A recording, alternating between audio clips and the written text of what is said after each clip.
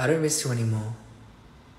But if happy ever after did exist, then I would still be holding